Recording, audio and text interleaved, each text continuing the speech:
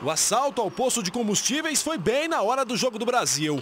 João Carlos é o gerente do local e foi uma das vítimas. Ele contou assustado como o crime ocorreu. O cara chegou, pegou, mostrou a arma para nós, primeiramente mostrou para o caixa, né, que estava com dinheiro no bolso, pegou, já, já, automaticamente o caixa já retirou o dinheiro, ele veio para cima de mim pedindo dinheiro, automaticamente eu só tirei os dois celulares que estavam no bolso, o meu corporativo, peguei e entreguei.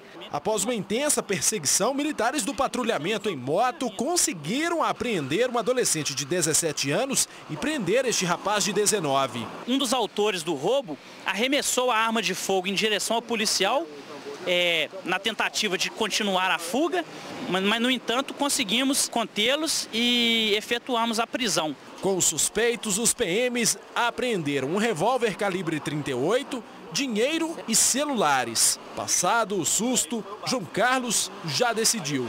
Vai mudar de profissão. Não quer mais arriscar a vida trabalhando em posto de combustíveis. A vida é só uma. E eu tenho esposa, eu tenho filho, eu tenho que pensar primeiramente neles, né?